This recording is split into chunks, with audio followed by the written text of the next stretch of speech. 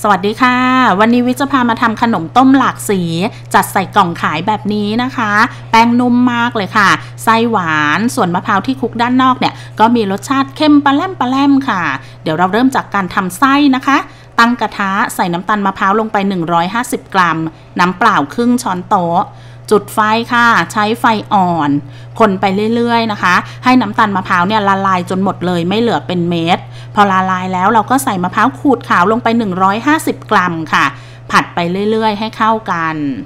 พอเข้ากันดีแล้วเนี่ยผัดต่อนะคะ ให้เขาไม่เหลือความแฉะของน้ำตาลเลย เพราะว่าถ้ามันแฉะเนี่ยมันจะปั้นยากค่ะ สำหรับตอนนี้ก็แห้งดีแล้วนะคะ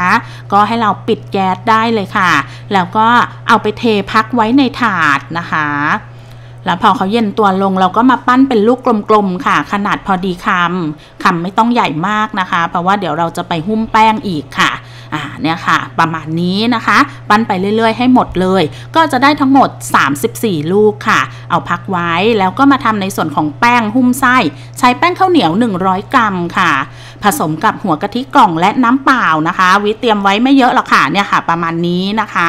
เราจะใส่หัวกะทิและน้ำเปล่าในปริมาณเท่าๆกันค่ะ โดยการทยอยใส่นะคะ ไม่ต้องจดจำปริมาณ ทยอยใส่แล้วก็นวดไปเรื่อย ๆ อย่างนี้ค่ะอ่าเห็นไหมคะใส่ส่อีกแล้ว ใส่กะทิก็ต้องใส่น้ำเปล่าด้วยเท่าๆกันค่ะ ใส่ไปนวดไปจนกว่าแป้งของเราเนี่ยจะอยู่ในลักษณะที่สามารถปั้นได้นี่นะคะ แป้งนุ่มแล้วสามารถปั้นได้แล้วค่ะ ลักษณะนี้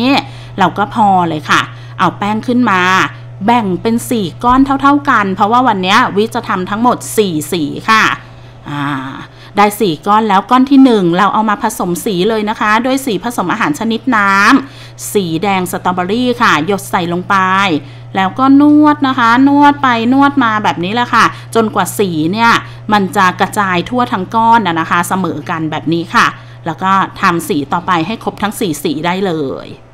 นี่ค่ะ ได้ครบทั้ง 4 สีแล้วเราก็ปั้นเลยค่ะ หยิบแป้งขึ้นมานะคะ ปั้นให้เป็นกลมๆ แล้วก็แผ่ออกให้เป็นแบนๆ แบบนี้ค่ะ เอาไส้มาใส่ตรงกลางแล้วก็หุ้มให้มิดเลยหุ้มให้มิดนะคะ แล้วคลึงให้กลมอีกทีนึง แค่นี้ก็เสร็จแล้วล่ะค่ะทำต่อไปเรื่อยๆนะคะ จนกว่าแป้งจะหมดเลยค่ะ หมดทุกสีเลย นี่นะคะ แป้งหมดแล้วได้ทั้งหมด 22 ลูก ส่วนไส้เหลืออยู่ 10 กว่าลูกค่ะ ก็ใส่ถุงมัดยางแช่ตู้เย็นไว้ใช้วันอื่นได้นะคะสำหรับไส้ ทีนี้เดี๋ยวเราจะเอาขนมต้มเนี่ยไปต้ม แต่ก่อนจะต้มขนมต้มเนี่ยเราต้องไปนึ่งมะพร้าวก่อนค่ะ เอาไว้คลุกขนมต้มนะคะอ่าวิตั้งน้ำรอไว้แล้วค่ะน้ำเดือดแล้วนะคะเราก็ใช้มะพร้าวขูดขาวค่ะ วันนี้วิใช้ 150 กรัมนะคะ เอาขึ้นนึ่งเลยค่ะ ให้สุกที่เราต้องนึ่งมะพร้าวให้สุกเนี่ยเพราะว่าถ้ามะพร้าวไม่สุกมันจะบูดง่ายนะคะ นึ่งไปค่ะ เป็นเวลา 30 นาที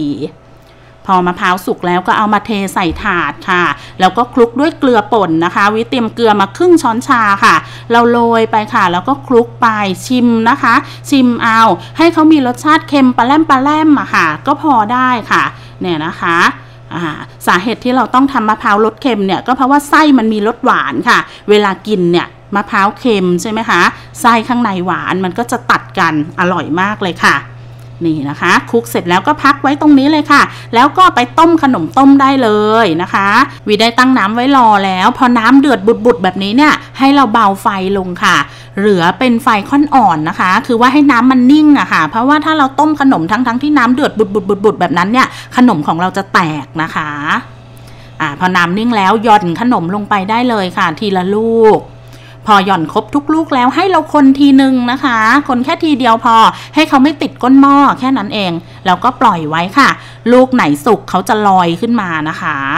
เนี่ยค่ะ เราปล่อยให้เขาลอยจนครบทุกลูก พอครบทุกลูกแล้วเราก็ตักขึ้นเลยค่ะเขย่าเขย่าให้เสด็จน้ำแล้วก็เอาไปเทลงบนมะพร้าวที่เราคลุกเกลือไว้นั่นแหละค่ะ นี่นะคะ เทลงไป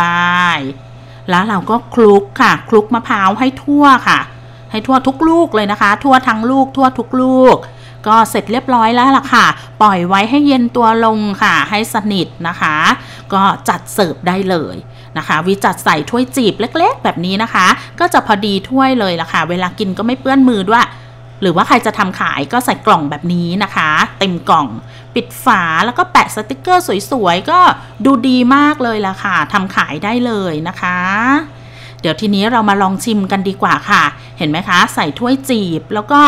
เอาใส่ปากได้เลยค่ะ พอดีเลยนะคะ รสชาติอร่อยแป้งนุ่มมากเลยค่ะไส้หวานแล้วก็เจอความเค็มความมันของมะพร้าวข้างนอกอะนะคะ อร่อยมากๆ อยากให้ทางบ้านลองไปทำกันดูค่ะ รับรองทำกินได้ทำขายดีแน่นอน วันนี้วิลาไปก่อนนะคะ สวัสดีค่ะ